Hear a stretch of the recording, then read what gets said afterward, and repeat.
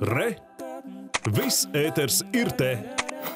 Lielāks bērnu kopšanas pabalsts, pieejami bērnu dārzi, samazināti un pat dzēšami studiju kredīti jaunajiem vecākiem. Tāpat krietnes sociālās iemaksas pensiju kapitālā arī bērnu kopšanas laikā un vēl daudz citi labumi varētu veicināt dzimstības pieaugumu. Tā domā Demogrāfisko lietu centrā, kurā tapusi tautas attaudzes stratēģija, ar ko, ar ko šodien iepazīstināja plašāku sabiedrību. Kāpēc eksperti ar šādu stratēģiju nāk klajā tagad, kad nav skaidrības par centra tālāku pastāvēšanu? Un kā panākt, lai plānā izvirzīto izdotos iedzīvināt un tas nekļūtu par kārtējo dokumentu kādā atvilknē? Skaidro Vīta Anstrate. Dzīmstības samazinās un prognozes nākotnē neiepriecina.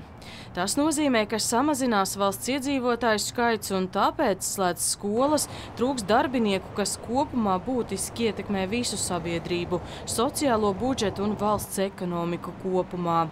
Demogrāfisko lietu centrs strādā sešus gadus, bet pērn dzimstības rādītājs bijis zemākais simt gadu laikā ko salīdzina. Ja vidēji Eiropā, kā es arī minēju, tas eh, rādītājs vismaz nav katastrofāls. Ja mēs turpināsim šo politiku nu, realizēt šādā pat veidā, kas ir kampaņu veidīgi, nevis mērķtiecīgi ar nu, vienu atbildīgu institūciju plašu iesaisti, tad, eh, diemžēl, mēs varam sasniegt, kā arī šie rādītāji liecina, pat 14 eh, tūkstoši dzimušos gadā. Lai tas nenotiktu, centrs piedāvā tautas attaudzes stratēģiju.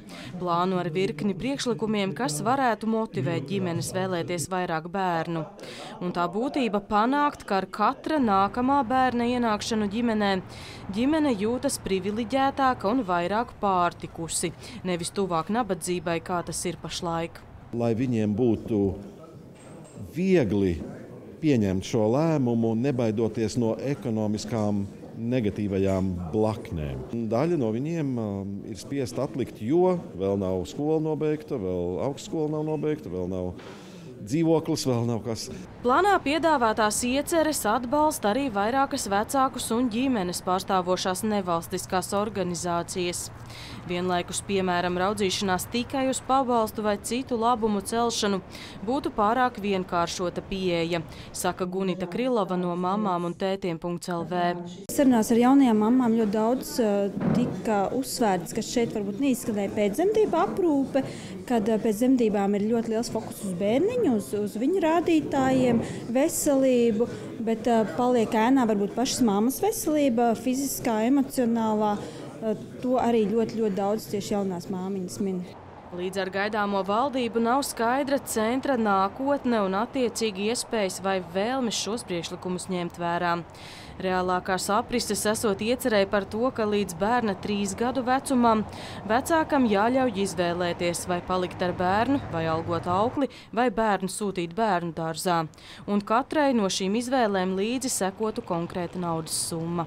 Kā mums tas izdosies, ir atkarīgs pirmām kārtām no valdības izpratnes un īpaši premjera, finanšu ministru un visu pārējo sadarbības partneru tāda redzējuma par šo kā tiešām kā galveno prioritāti domājot par Latviju ne tikai četru gadu periodā.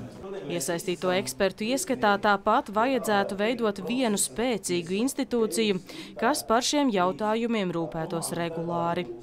Vita Anstratēgars Kovaļevskis, Latvijas televīzija.